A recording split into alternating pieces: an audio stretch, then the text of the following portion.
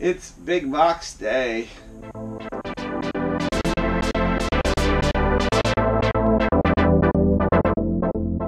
Hi, it's Jim Starkweather, the publisher of KitMaker Network, and we're here again for another mail call. Last week was uh, number 40. Uh, I didn't realize it when I was doing it, but this is 41, 41 week, not weeks, but 41 episodes of Crack. No, 41 episodes of mail call. it's early. I'm still a little tired. Um, let me let me hang up my uh, jacket here, like Mr. Rogers. I put on my little shirt and take off my well, I don't take off, usually take off whatever shirt I'm wearing, but today I had a jacket, so I, I have this little jacket here to, to quasi hang up. Um, oh, that's not good. There we go. All right. So, uh, well, we got uh, a Dragon big box, so there's going to be a lot of Dragon kits. We got kits from overseas. We've got stuff I've already opened. Uh, we'll just get on with it, I suppose, shall we? All right. So, um, in the kits I've already opened, I got this I opened this one because it, the box was rather crushed and I wanted to make sure it wasn't damaged, and luckily it was not. But this came from Stevens International. It's the new KV-220 Russian Tiger Super Heavy Tank. Another tank that's in World of Tanks. It was a premium tank, I believe, or a giveaway of some kind. Uh, premium, I suppose, a special limited edition of premium, now that I think about it. Um, this is obviously a, kind of a KV-1 with uh, different turrets and more armor and, and so forth, but uh, for those interested, that one's out there now, 05553. Uh, then we also got in, as you might have noticed, the uh, Rye Field model M1A2, um, M1A1 or A2, it's a two-in-one, uh, Abrams tank with full interior and also engine. Um, so that one's out, and we've already done a unboxing for that and so forth. And then we also got from them their M1A1 Abrams. Uh, this is without, without the interior, but uh, they'd put out the M1A2 uh, Tusk 1-2 right before before this one. So this is their third Abram. Uh, so they're getting rather skilled in that area. And then we got this box, which I kind of peeked at just to see what it was, but um, from Flyhawk. And what has Flyhawk sent us? They have sent us um, a World War II Royal Navy Aircraft 2, which is a, some kind of seaplane. Not familiar with that, but uh, this is FH1130, and it is in 1 700th scale. And then they also sent us uh, a continuation of their Luchs series, I guess, the Panzerkampfwagen 2 Os L Luchs. This is with uh, Zusa, uh, mm. I'm not sure what that is. It's some some kind of weapon slash whatever special thing that's on there. This is a also 172nd scale kit. So, but the uh, Flyhawk 172nd scale kits are very detailed, very, very nice. Then we got a magazine here from History and Collections. Which one is it going to be? Well, we will find out. Ah, it is Steel Masters number 140. See, they're up to 140. I'm only at 41. They've been doing it a little longer than me. Uh, so we'll get a turning the page hopefully on that one. And uh, from somewhere in Poland, I'm going to guess maybe IBG, but we'll see. Uh, we got this box.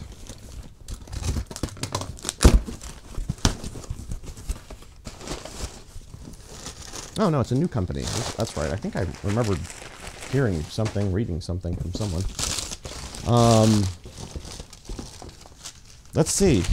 Let's see what Polish adverts are like. Hmm. Look, they're much like American adverts.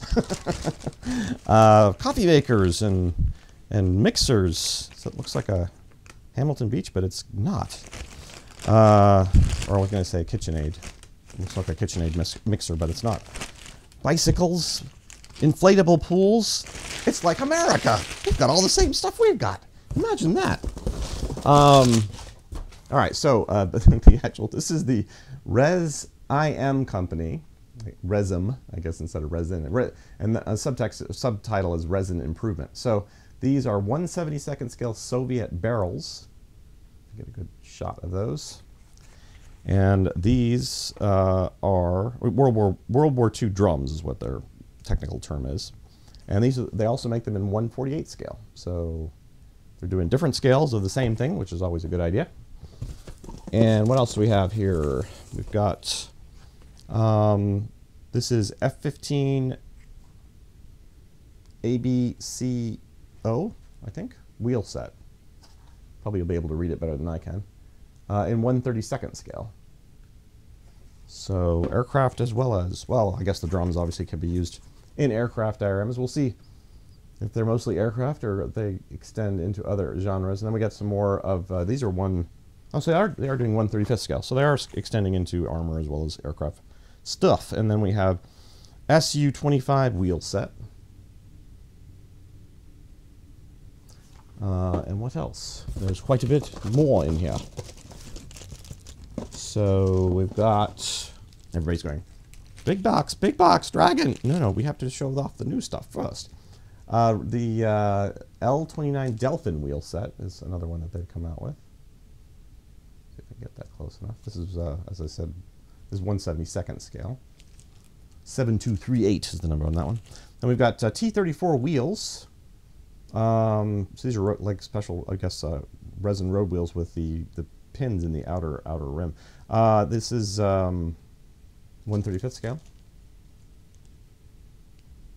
Sorry, bag's not cooperating, flopping back and forth. Um, they, uh, another 72nd, this is a Tornado wheel set. And what else? We have uh, more T34 wheels. Um, is a different version. This is without the little pin holes.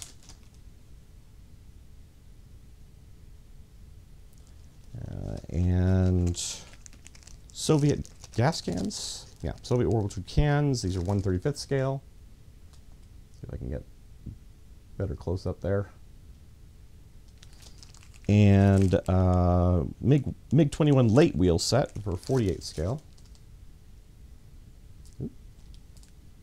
Wrong way, Jim. Wrong way. Yep, yep. There you go. Uh, then we have the MiG 21 late main wheel set for uh, 1 144th scale. So they really they, they go all over the scale gamut. I'm not sure those are going to really show up in on for the camera. Then we have, uh, again, one 144th and F15 A, B, C, or D wheel set.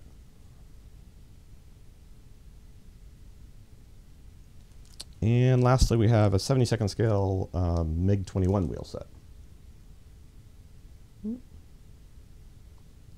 And that's 7230 is the number on that one. All right, so um, they've got some larger kit boxes in here. They've got uh, F, an FA-18 an F slash A 18E FG wing fold set in 172nd scale. And that's 7229 is the number on that one. Um, I got some large kits in there too, but uh, we'll do those last. T3485 exterior set in 135th scale. and a Hurricane Mark 1 gun bay in 148 scale.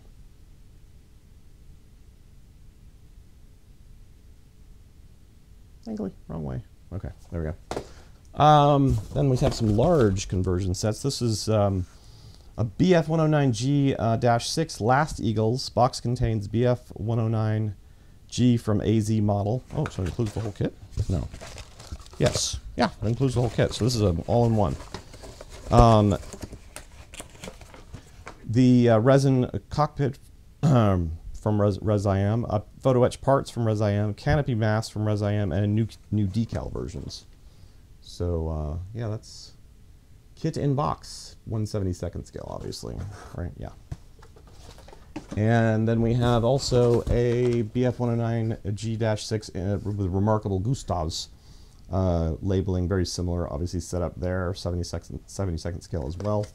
But there's the so some very unique uh, options there for in terms of decal sets and updates. And that's from everything from Res-IM.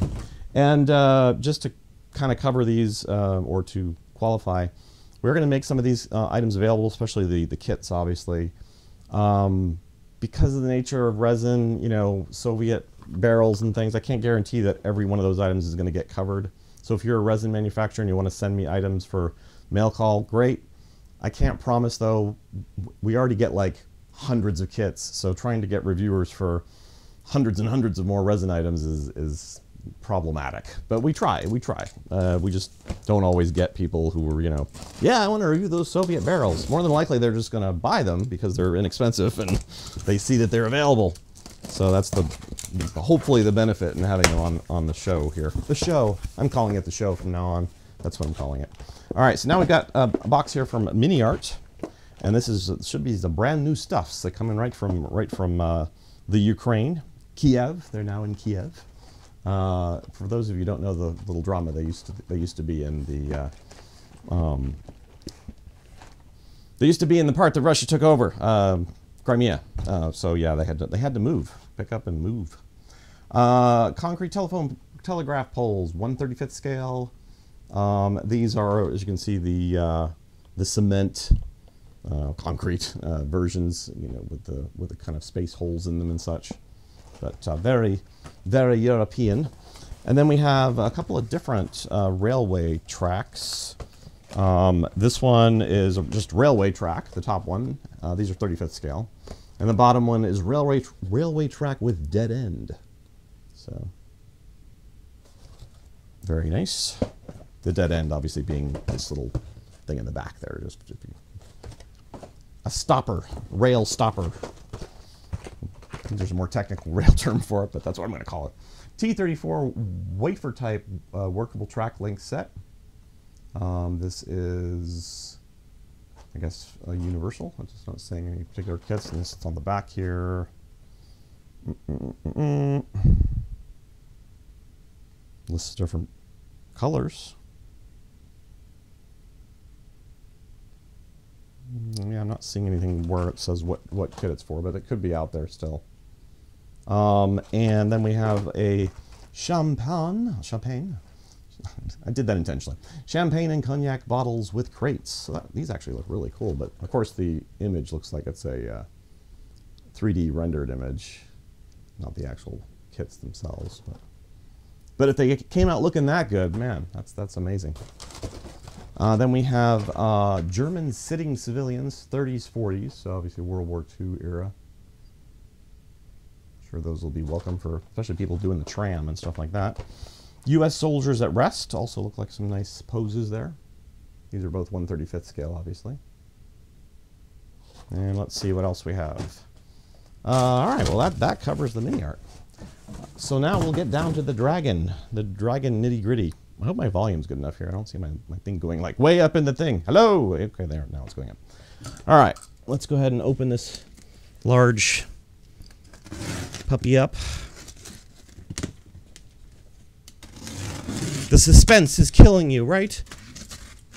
I know. It's it's it, for those of you might be first videos or something. Oh my goodness, I'm not doing a good job here. Um, they're going to be Dragon kits in here, as probably as well as other manufacturers that Dragon USA um, covers, stocks, sells. There will not be a 135th scale AT-AT in here, I'm sorry to say. Maybe someday they'll surprise me with that. All right, so right off the bat, we've got uh, a, that's a joke for people who've been watching my videos for a long time, uh, SD KFZ uh, 162 Jagdpanzer 4AO. Uh, yeah, a continuation of the Jagdpanzer 4 series, obviously. I'm not sure what the AO variant was. Uh, looks like it's Maybe got slightly different side skirts on it, um, maybe or maybe a different gun. Gun looks more like it's a, like a 105 or something. Did they actually put the 105 on here? Anyways, all right, so that, that's that's out and available. 6843 is the stock number on that one. Um, the uh, Yag, Mighty Yag Tiger. This is a Henschel production type uh, with 12.8 centimeter standard, a PaK 80 gun, L66. Um, not sure what's different about this other than I know that they put out um, put out ones with Zimmerit and so forth. So this this one this one looks like it doesn't have Zimmerit. Um, so maybe it's just kind of more of a plain Yag Tiger. Yag Tiger, haha, got you. uh, so battles of uh, Smolensk and Rols, uh, Roslau. Sorry, I didn't look that name up. Uh, 1941. Uh, this is uh, 6791. By the way, the Yog Tiger was 6827, if anybody's looking to get the stock number on that one. Uh, Stug 3 OS E. This one's 6688. Uh, again, uh, another Stug release, but the OS E obviously late in the production cycle. I'm not sure what the last Stug, what was the last Stug made? I don't think they got up to G, did they? Did they? Maybe, maybe they did get up to G. Uh, then we have in their uh, new uh, series, the uh, Middle East War series, we've got the the Magach 3. Uh, this is 50th anniversary the 60 day, uh, six day, 60 day, the Six Day War. They probably thought it was going to be 60 days, but no, it only six. And that one is again, I think what's that M48 Patton, right? I want to say. Boy, if I'm wrong on that, that's going to be embarrassing. No, not really. Uh, this is a Berg Panzer 38T Hetzer uh, with two centimeter flak 38. So interesting, aircraft or anti-aircraft command tank, maybe. I don't know if it was a command tank, but it was obviously an anti-aircraft tank. So interesting use of the the Hetzer chassis there to just mount a, a uh, two centimeter flak 38 gun in. You can kind of see the uh, the opening there on the top. It's kind of cool. So I'm sure some I don't know if that was a paper Panzer or maybe a couple made, but um, wow, I got the inexpensive box art on this one. Uh, Panther OS D V2 Ver Versuch Versuchery, whatever. Uh, some interesting uh, cat design on this one. Ron, they needed you on this one. You, you obviously were too busy to. All right. Oh wow, I haven't seen one of these in a long time. Cyber Hobby uh, orange box is what they the super value pack. These are kits that they've released in the past, but then they come out with a like an update to it. In this case, I think it has Magic Track, and they've included some Soviet tank equ- equipment. But it's kind of like an old kit with an update, uh, and they're lower, usually lower price. So, but this is the Soviet uh, Su-85M tanks destroyer 52. I'm not sure.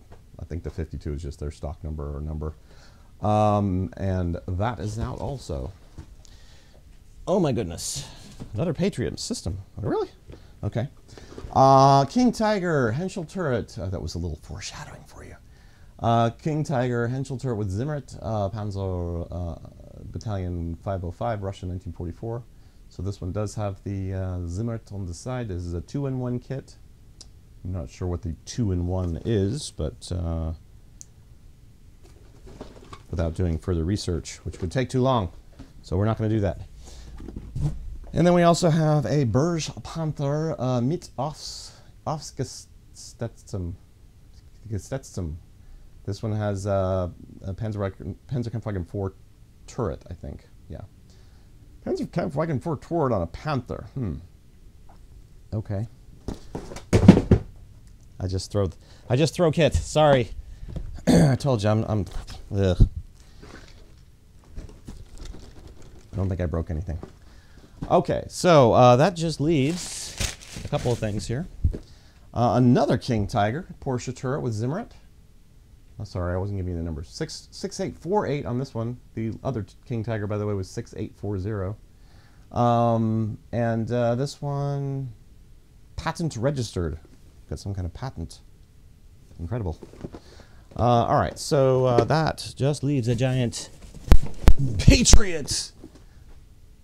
So what's different? I guess this one includes the the this one includes the, the truck, whereas the last one didn't. The last one was just this unit. Sorry, Gino. I just sent this off to Gino. I mean, he's probably got an extra Hemet laying around that you probably put with it or not. And you know, it depends on how you want to build it, obviously, whether you want the the full thing. And this is probably going to be a much more expensive kit, I would assume, with the vehicle.